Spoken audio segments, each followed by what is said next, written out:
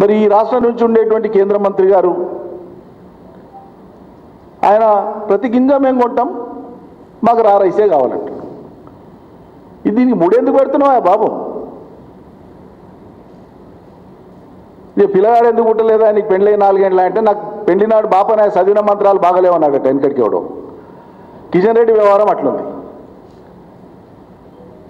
అరే నువ్వు నేరుగా వచ్చి రాష్ట్రం తరఫున ఉన్నావు నువ్వు రైతు కుటుంబం నుంచి వచ్చినావు ఏం వచ్చే వరకు కేంద్ర మంత్రి పదవిలో ఉంటావా? నీ ఆత్మ చెప్తలేదా? తెలంగాణ రైతులకు అన్యాయం చేస్తుంది కేంద్ర ప్రభుత్వం అని? రైతులు రైతుల పక్షాన్ని వచ్చి నిలబడి చేసి మాకు ఇది వాస్తవ పరిస్థితి ఇది దేశంలో ఉన్న పరిస్థితి వేరు తెలంగాణ వేరు. ఈ పరిస్థితులలో మీరు ఒడ్లు తీసుకోవాలని చెప్పి ఒక మాట ఎందుకో మాట్లాడు. ఇన్నిసార్లు మేము ఢిల్లీకి డెలిగేషన్ పోయినామే.